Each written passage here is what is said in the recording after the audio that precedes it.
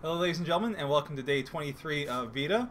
With me today is Angie Nash, Nerdy Companion. I, of course, am Artimage. First thing I want to start off with is yesterday I mentioned my friend Dylan, who works with Sarah at Dreamers Cosplay and Games. Today's his birthday! Happy birthday, Dylan! Happy birthday! So, since there's a guest, means alcohol, so toast to Dylan. So today, Angie has a topic. We are going to be talking about self advocacy insofar as it relates to mental health. The reason Angie has that topic is because I'm not very good at presenting it. It's not an area I've covered very well in my studies or anything. Self advocacy is probably the most difficult and yet most integral part of dealing with any mental health issue. Self advocacy means being able to draw lines, being able to communicate, being able to explain to someone, whether they be a layman, whether they be a healthcare professional, whether they be some guy on the bus. An inability to communicate in the area of self advocacy means that it's harder to get the help we need. So if you can't communicate to your doctor what you're feeling and why, then they can't help you. At least not effectively. Um, it has taken me, oh, I don't know, at least eight years to develop the knowledge base, the communication skills, the pretty much checklist of what I have to cover with any new person, any new doctor. So, with that in mind, let's quickly interrupt you here. So, everyone get a chance to know where you're coming from, because as I've mentioned a few times, I myself have bipolar type 2, whereas your experience is with. Um, I apparently have a general anxiety disorder. I also have borderline personality disorder, and I have recently discovered that I also have some struggles with post traumatic stress disorder. So, if someone's struggling trying to pre- present it to, say, a loved one to get the ball rolling, where would you suggest they go for an, a way to get started? There are a lot of really good articles through The Mighty that are specifically geared towards. Link in description that are specifically geared towards um, being able to communicate those things to people who have not been through it. Um, I believe they have like top 15 things you need to know about a person with this diagnosis, about that diagnosis, about the other diagnosis. Um, and I think they even go so far as to delineate between friends, loved ones, and doctors, I'm pretty sure. I've not read extensively a great deal on the Mighty. I if you pay attention to my Facebook feed, if you're someone who happens to be on that, you probably see me share more than a few articles. And those ones I do tend to read, or at least most of. Usually I'm reading them while at work, so that might get interrupted and I don't get back to it. But they are ones that I feel are relevant to, if not my case, enough cases to share. So it's definitely a good resource for information overall. But I haven't seen too many personally on any sort of self advocacy. Um, there have been a few that at least start to address it. Um, I'm not sure that I can remember specific uh, like focal points for that, but I'm sure they probably exist. We just have to search for it. Um, but the ones that I like are the ones that are written from like several different people's point of view. So like topic say one through fifteen.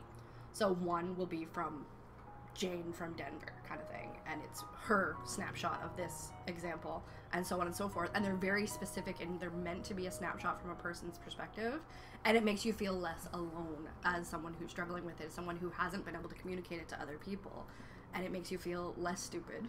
At the same time, though, I find that most of those aren't so much advice as they are this is my experience or this is something unexpected that I find does help me as opposed to here's where you should be looking, here's a way to present it. Granted, but just the ability to read in somebody else's words sometimes gives you the aha moment of why didn't I think to word it that way when you're trying to speak to somebody about it. Something as simple as so, as well as mental health problems, I also struggle with an illness called fibromyalgia. And one of the most useful tools to try and speak to a layman about how it is for me to have to budget energy every day. So I can't just do all of the things that I want to do. I have to budget my energy. Is something called the spoon theory, which you can click the link in the description box below. And it was an. Uh, it was an, an, anecdote from an experience yes. at a restaurant that some girl had with a friend trying to explain her own circumstances trying to get through a basic day. And it was a perfect picture to show someone and give them actual evidence of what it's like to go through an average day. And um, you'll often hear me talk about not having the spoons or having run out of spoons or you're on my last spoon or being a spoonie.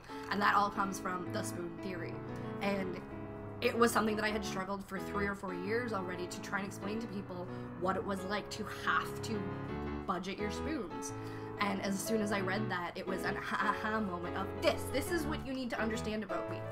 And it is my go to. Anytime I bring it up, I simply go Google spoon theory and make somebody else go read it instead of my trying to explain it again. And an inability to be a self advocate isn't just detrimental to yourself, it can be detrimental to relationships you're in.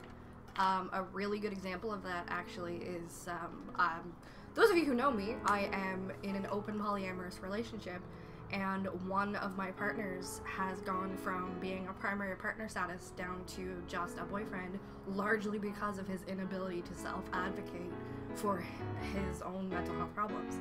And it was something that we have talked about throughout the length of our relationship together that we had agreed that each of us had certain steps that we had to do uh, to take care of ourselves in order for that type of relationship to continue.